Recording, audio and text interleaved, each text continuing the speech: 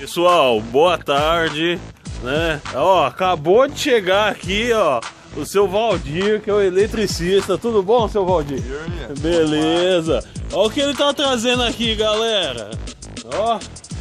É, meu, parece um caixão, mas é minha luminária. Tá certo, galera? Um abraço para vocês aí, vamos instalar ela agora. Fiquem com Deus e até mais.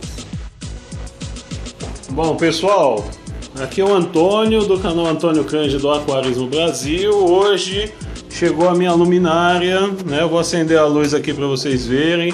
A fiação eu fiz pelo lado de cima, né?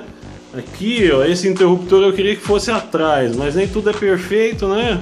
É, vai ficar aqui na frente, depois eu vou trocar por um é, eu vou trocar por um espelho preto aqui, né? É, ela tá presa ainda, galera, ó, com, ela tá só apoiada no vidro do aquário, né? Com três rodos aí, porque eu vou fixá-la no teto, né? Então assim, na hora que o cara viu, ele correu, né? A gente vai ver se consegue fixá-la no teto. Ali as lâmpadas tubulares de LED tem lugar para quatro. Eu coloquei duas só. Vou apagar aqui a luz para vocês verem como está meu aquário hoje. Em primeira mão aí, o aquário de bandeiras com a luminária presa no que vai ser presa no teto. Né? O nível da água está um pouco baixo porque eu estou fazendo uma lenta TPA aí. Tá certo? Aqui meus bandeirinhas.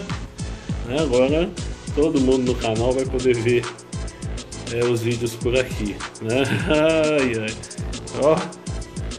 Deu uma, deu uma outra vida, né, galera? Agora dá pra ver o aquário inteiro aí, não só pedaços. Você deixa, se você gostou desse vídeo, deixe seu joinha, né, deixe seu comentário aí em relação à luminária. Em breve vai vir é, novas atualizações, tá certo, galera? Um abraço para vocês aí, né? Fiquem com Deus e até o próximo vídeo.